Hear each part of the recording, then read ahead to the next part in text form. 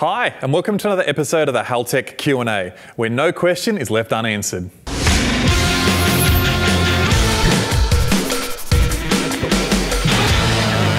Our first question today comes from my GDR 34. What's the difference between your Pro plug-in ECUs and an Elite with a plug-and-play adapter? Is there any advantage in going to the Elite Plus adapter if it's just a street car? Well, yes, the, the, main difference when going to the Elite series over a Pro plug-in are the long-term strategies for fueling, boost control and idle control. These long-term strategies allow the ECU to make adjustments to the tune every time you drive the car. So every time you drive it, it's going to get better. The long-term strategies can be used on a street car or a race car. Our next question today comes from Woon King.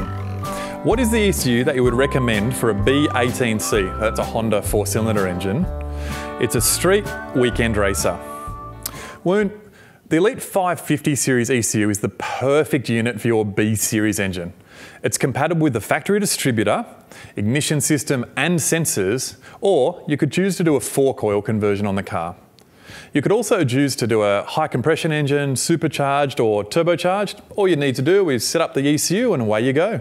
And our last question today comes from Rusty S. What ECU would suit a 2JZ VVTi that is capable of controlling the stock drive-by-wire system?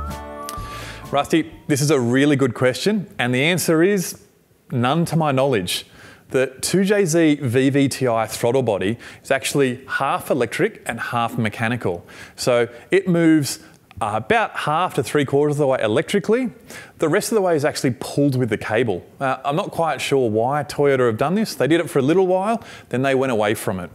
Uh, the problem with this is that no aftermarket engine management systems can be wired to this because we're looking for a, full movement of that throttle blade electrically.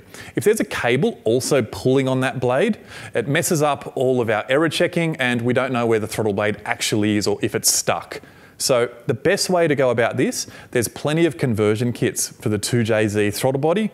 All it does is change it to a full cable style system. It gets rid of the electric component of it.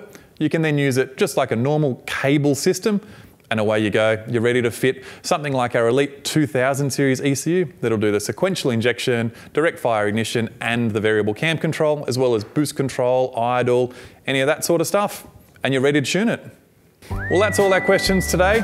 If you've got a question you want answered, please send it in to us. We'll get onto it next week. My name's Scott, and I'll see you next time.